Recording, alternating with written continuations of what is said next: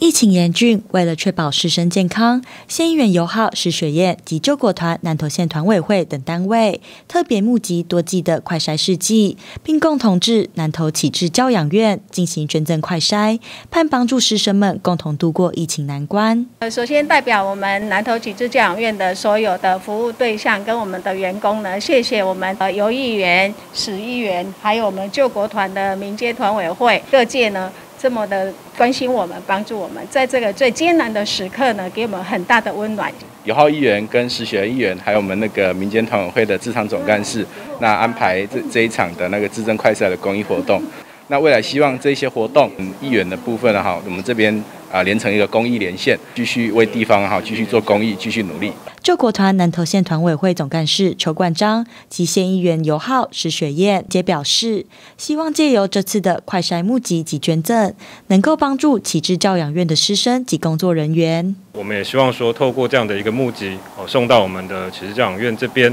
我来帮助我们这边的孩子、院童跟我们的工作人员。南投县的启智教养院其实都在默默的照顾许多需要被照顾的的朋友。那所以说，在这一次，那也希望说，未来大家能够。借由这样子公益，让更多人都能够一起来响应。那我想，我们民间的启智教养院这边小孩子哈，都很需要社会大众的关心跟支持。那也感谢我们院长今天一起来呃接受这样的一个捐赠。那我想说，就在地来讲哈，学院也希望未来为我们启智教养院的小孩子有机会啦，去向社会大众募集更多的物资给我们院区这边。南投启智教养院为帮助在地弱势非常重要的社福机构，对于院方来说。快筛试剂必然需要，也期盼借由这样的捐赠方式，能够让更多人一起来响应。记者邱品俊民间乡采访报道。